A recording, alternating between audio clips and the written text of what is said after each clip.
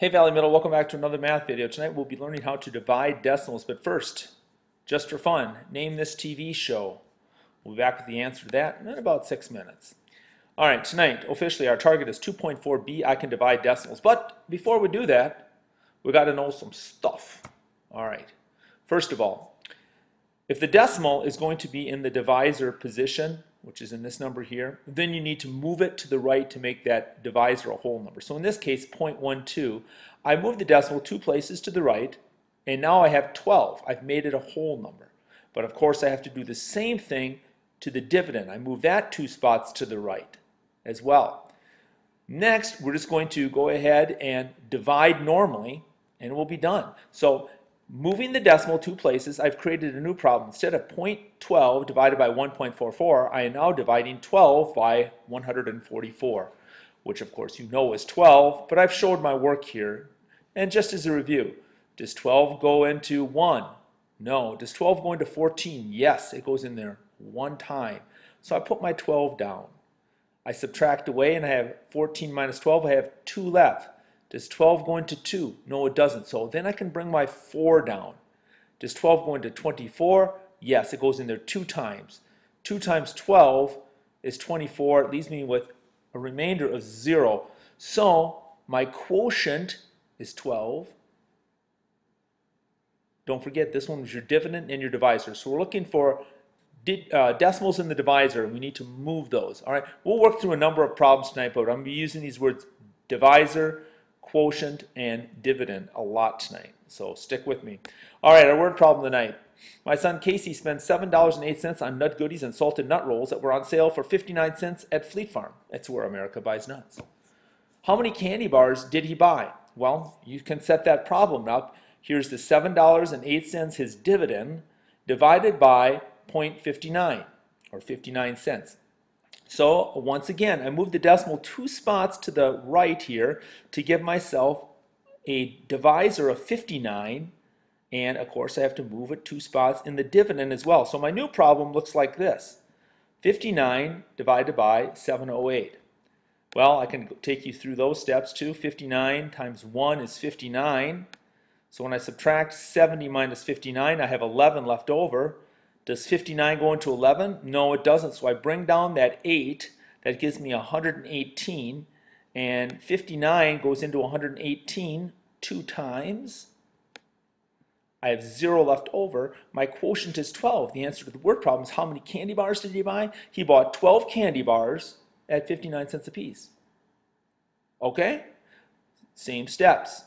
Look for decimals in the divisor move them to, to the right to create a whole number, and then move the decimal in your dividend the exact number of places. All right, time two more, then I'm going to cut you loose.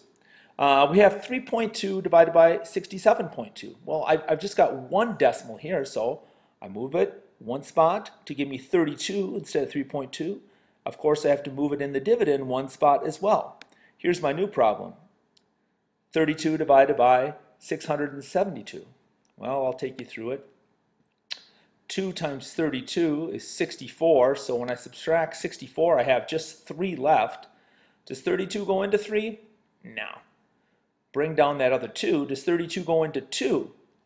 I'm sorry, does 32 go into 32? Yes, it goes in there. One time, I put my 1 up, I subtract away, I have a remainder of 0. So I have 21 as my quotient. But is it right? Well, let's take a quick peek here.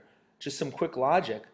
Well, 32 times 10 would be 320, so 32 times 10 again is 320.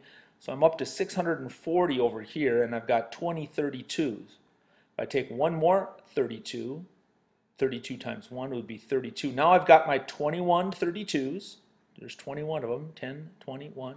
Add that all up, I have 672 uh, that mental gymnastics I'd like you to get used to doing, just so that you have a quick check to make sure your answer makes sense and is right.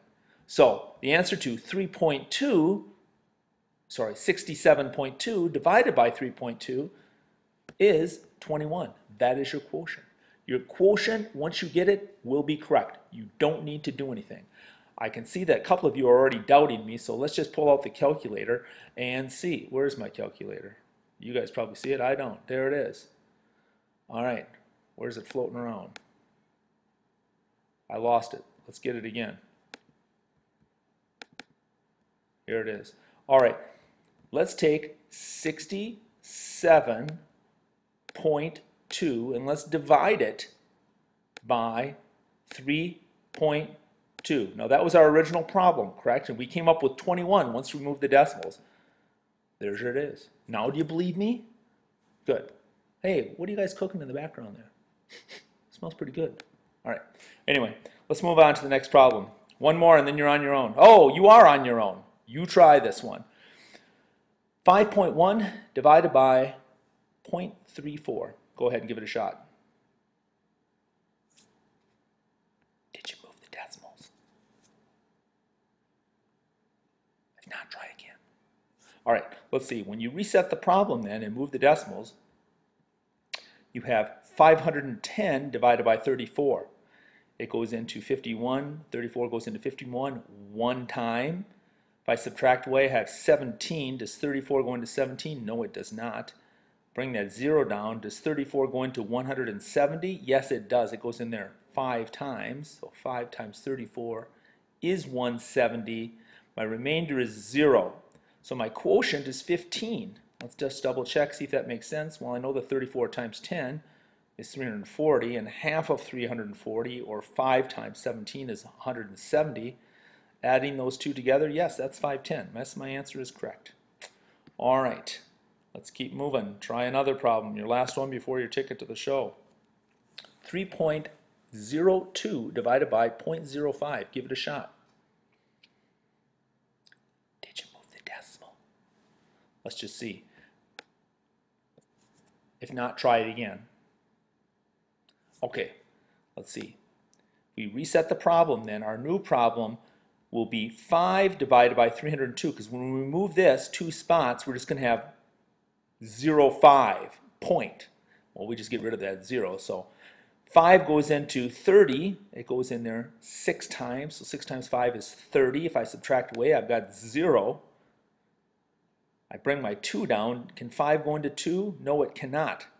So I'm going to bring another 0 down. Now, don't forget, you have to put the decimal up.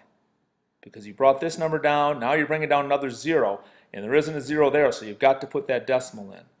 Uh, I bring the 0 down. Does 5 go into 20? Yes, it does. It goes in there 4 times. So 4 times 5 is 20. And 20 minus 20, you have 0 for remainder. So you have 60.4 as your quotient like I said, once you get that decimal moved in the uh, dividend and move it in divide, sorry, in the divisor and then move it in the dividend the same number of places, you're really just dividing like normal. Let's just check to see if your answer makes sense. Well, we know that 300 divided by 5, of course, is 60, and 2 divided by 5, that's, that's a known fraction of 0.4, so there's my 60.4 right there. All right, you are ready for the ticket to the show. 16.8 divided by 4, I'm sorry, divided by 0.4, 16.8 divided by 0.4, and 12.6 divided by 0.6. Answer those two questions. And thanks for listening. Nah, I'm just kidding. I know you want the answer to the trivia question. You already know it. Of course, that show is Full House with Danny Tanner and Joey and Jesse and the girls. Pretty fun show. All right. Have a great evening. Thanks for watching. We'll be doing a lot of practice on this in school.